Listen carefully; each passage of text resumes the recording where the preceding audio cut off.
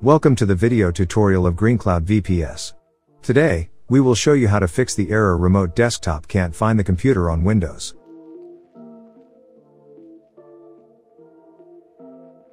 First, open the Run dialog box. Type the following command and click OK to open System Properties. Go to the Remote tab. At the Remote Assistance option, select Allow Remote Assistance connections to this computer. Click Apply and OK.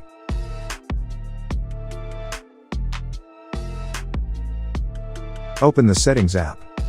Go to System, then click Remote Desktop. Locate Remote Desktop and toggle on the switch to enable it. Click Confirm to save the changes. Now check if you can access the remote computer. Open the Run dialog box. Type regedit and click OK to open the registry editor. Navigate to the following path.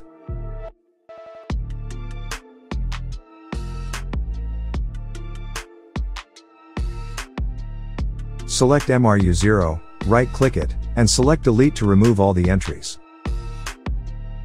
Close Registry Editor and reboot your PC.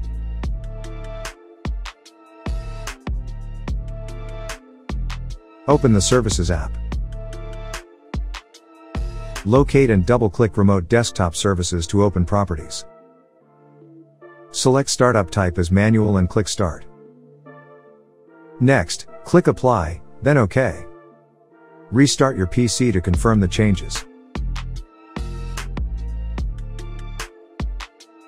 Press the Windows key, type Control Panel, and click Open. Select System and Security. Click Windows Defender Firewall. Now click Allow an app or feature through Windows Defender Firewall. Click Change Settings. Locate Remote Assistance and Remote Desktop, select them, and make sure the private and public option for both is selected. Click OK to close the window.